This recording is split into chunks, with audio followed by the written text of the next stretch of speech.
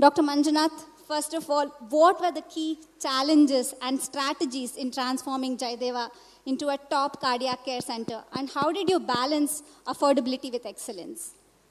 Yeah.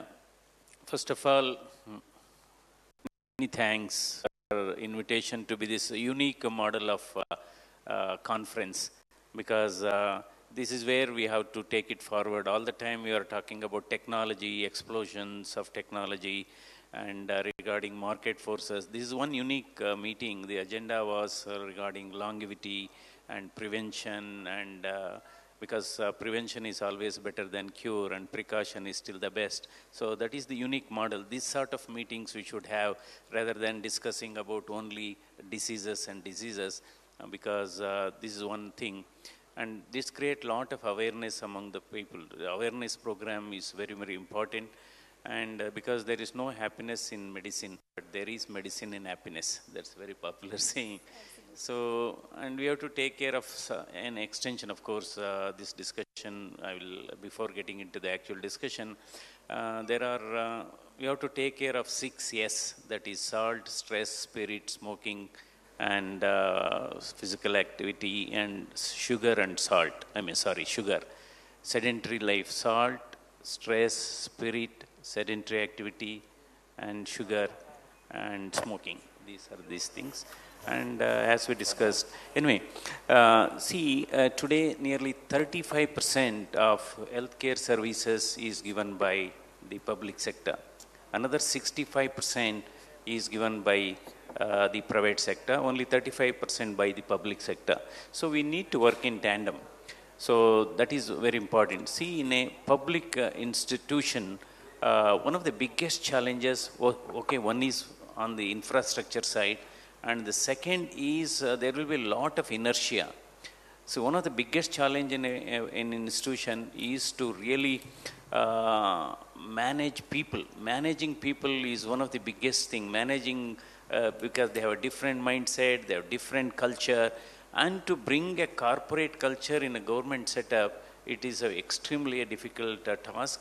And this is where the leadership matters. We have to take uh, everybody together. That's very very important and most important, you should allow space to grow in the organization. So you should allow, because, uh, okay, with your talent, uh, with your hard work, with your skill, you can reach the top position, that's fine. To remain in the top position for a longer time, your attitude and your behavior and all those things matters. So another important thing is uh, one of the biggest incentive for the growth of an organization is non-interference. That is one of the biggest incentive, whether it is a government institution or whether it's a private institution.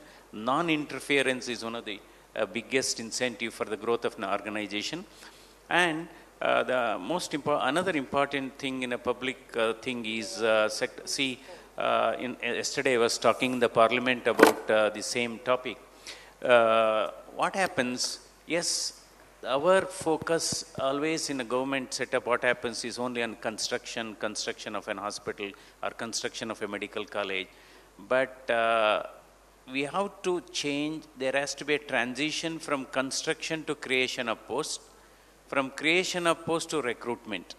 So what is happening, we are focusing only on construction, yes, fantastic physical structure will come, but where, where, is, where are the posts? So this is where uh, we have to really balance and uh, we have to create an atmosphere of ownership in a public institution. That is again leadership oh, people should strong and there has to be some mechanism of decentralization and also uh, decentralization mechanism should be there. You should not uh, try to really uh, centralize the whole thing as head of the organization. You have to give some freedom and you should also take everybody together. You should be a great listener. You should be a great listener. A listener is a leader. That's what right. a popular saying is, says. And another important thing is uh, you have to have a good rapport with the, you should have a good rapport with the uh, government. That's very, very important many time I have realized lot of good things can be done with the goodwill of the bureaucrats. The goodwill you have with the bureaucrats uh, will have, we can have a lot of impact. Because when I took over Jayadeva Institute of Cardiovascular Sciences in 2006, the bed strength was 300. Today we reach 2,000 cardiac beds exclusively for cardiac care. Nowhere uh, in this thing. Nowhere in India we have a cardiac institute with 2,000 cardiac beds. See, the problem is, yes, with government grants alone is not sufficient to run a public institution because they have a fixed grant. So this is wherein we have brought in a, a public-private partnership. Three P's we call it as public-private partnership. See, the other two P's will come if the first P is strong. If public institution is strong, and uh, we roped in about 50 charitable organizations to support the uh, treatment. But uh, of course, uh, most important is if they are convinced whatever donations they give, whatever uh, the uh, philanthropic activity they do, if they are convinced if it is going for a right cause, then only funds will flow. So, in fact, one of the biggest thing I have to mention here, our Infosys Foundation chairman Sudha Murthy and Narayan Murthy, uh, they have built in a 350 bedded world class cardiac hospital in the same premises and handed over to us. So they asked me one question Manjunath, uh, how much of uh, tenure is left as a director for you? At that time, it was three years. Then they said, we are going to build because we have a strong faith on you and trust on you. So then, uh, November 2021, this facility was handed over to us. November 20, 21st. November 24th, we started working with full faculty. So, mm. so these are some of the important things. And again, uh, we have to bring some amendments because government rules uh, are a lot of uh, throttling effect uh, just for example, uh, in fact, we were the first institution in the country to introduce an incentive scheme uh, to prevent brain drain among the faculty in 2007 itself. This was based on performance, productivity, and punctuality. There was a lot of opposition from the government. No, Manjunath, if you ask, even other institution will ask, other medical colleges will ask. So then I told them, no, you just put a rider you give permission to start an incentive scheme, not from government grants, it is only subject to effective internal resource mobilization. Then nobody will blame. So, as because the mindset of our people is you give even 10 lakh salary, they are not, I mean, they don't talk about salary. You give just 50,000 in incentive, they only talk about that 50,000 uh, incentives and all.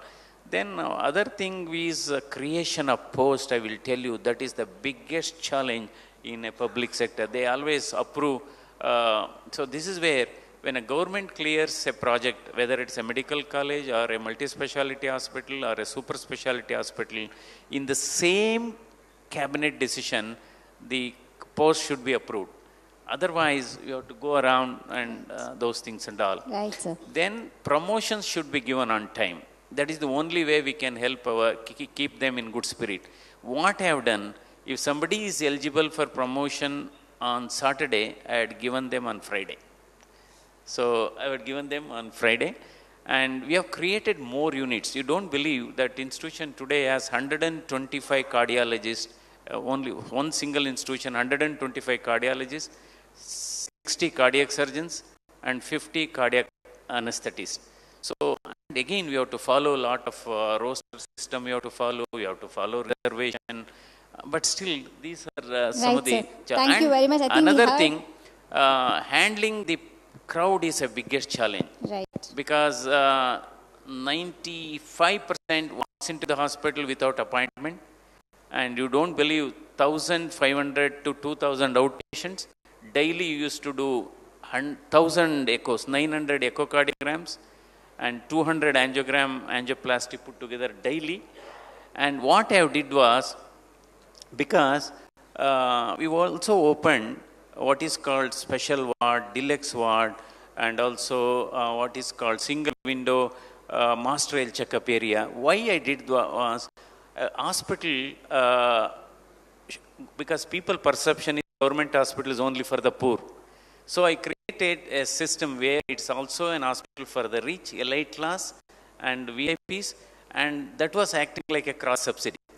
So we are charging those group, and that was serving as a cross subsidy to the uh, poor people developed.